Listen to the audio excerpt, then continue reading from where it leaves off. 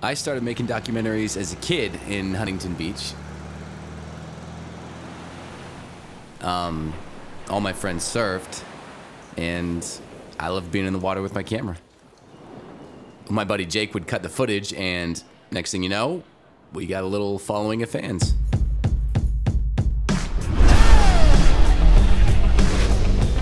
Well, we pretty much do the same thing now. We're just better at it, and we have better equipment. When we're out on the road, we really just need everything to work.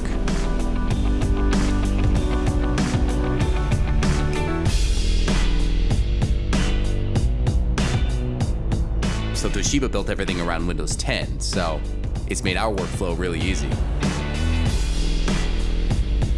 So now we can focus on the story and not so much the, the technology.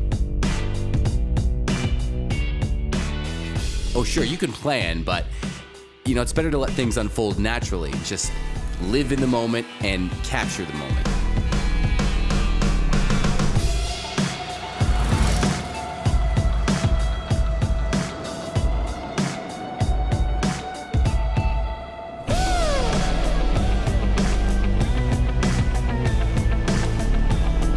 What do I like most about what I do?